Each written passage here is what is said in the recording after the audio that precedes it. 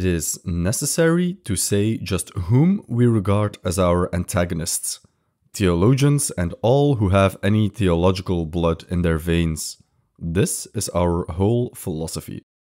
Welcome to part 3 of our analysis on Nietzsche's The Antichrist, in which we will go over Nietzsche's attack on theology and those who think like theologians. The previous two parts are linked in the description. Strictly speaking, theology is the study of God, specifically in the context of this work, the Christian God. Every priest is a theologian, but not every theologian is a priest. Furthermore, Nietzsche's attacks are not limited to theologians proper. His attack is broader. Everyone with any theological blood in their veins is his target. Upon this theological instinct, I make war. I find the tracks of it everywhere. Whoever has theological blood in his veins is shifty and dishonorable in all things.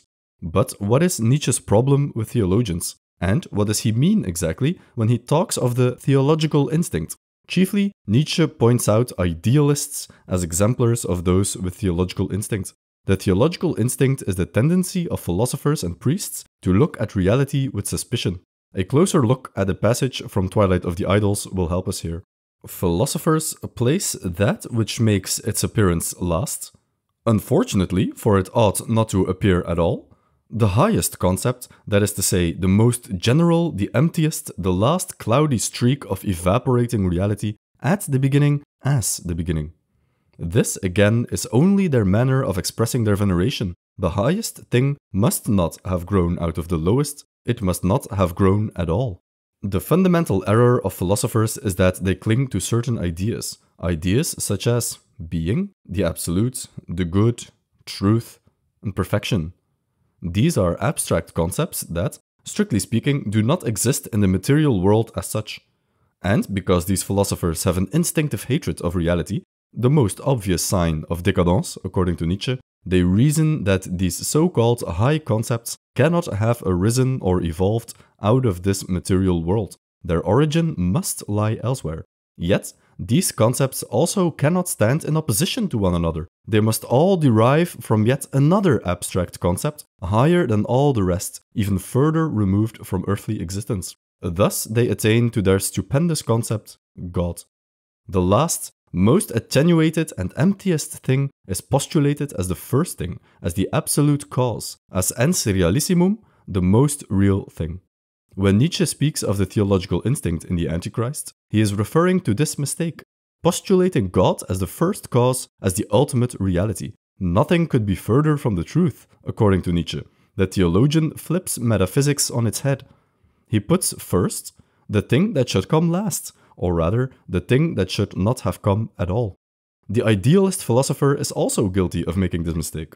Arthur Schopenhauer and Immanuel Kant, for example, both have reasoned that not this world, but some other world, the will in Schopenhauer's case and the thing in itself in Kant, is the ens realissimum or the most real thing.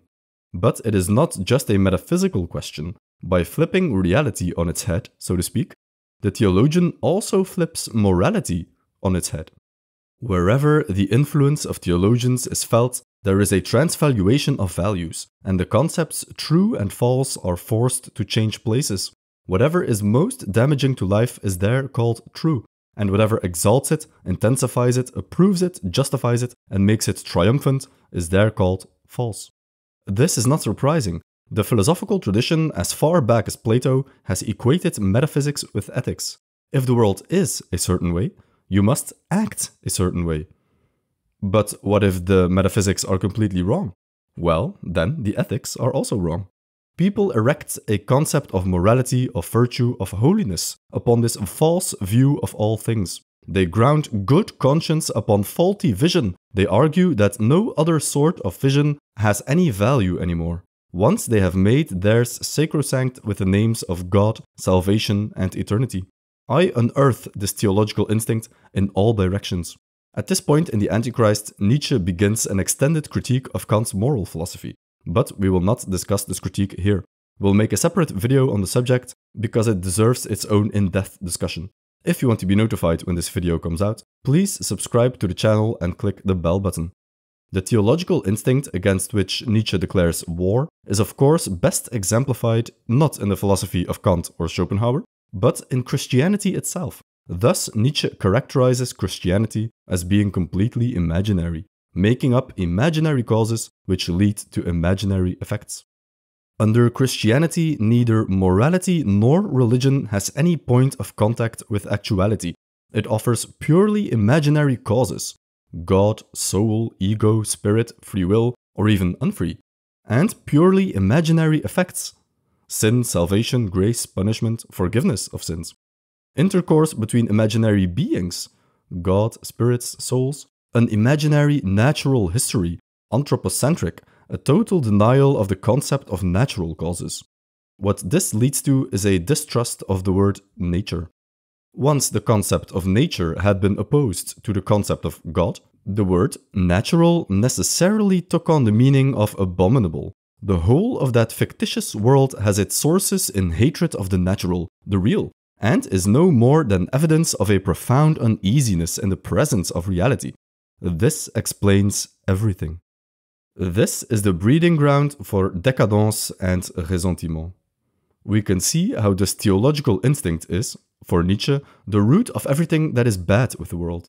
The theological instinct leads to bad metaphysics, which leads to bad ethics, which leads to a distrust of nature, which leads to a distrust of life, which leads to décadence, weakness, and ressentiment. And the theological instinct finds expression in Kant and Schopenhauer, and with them, in the entire tradition of Western philosophy, but most of all, it finds expression in the religion of Christianity.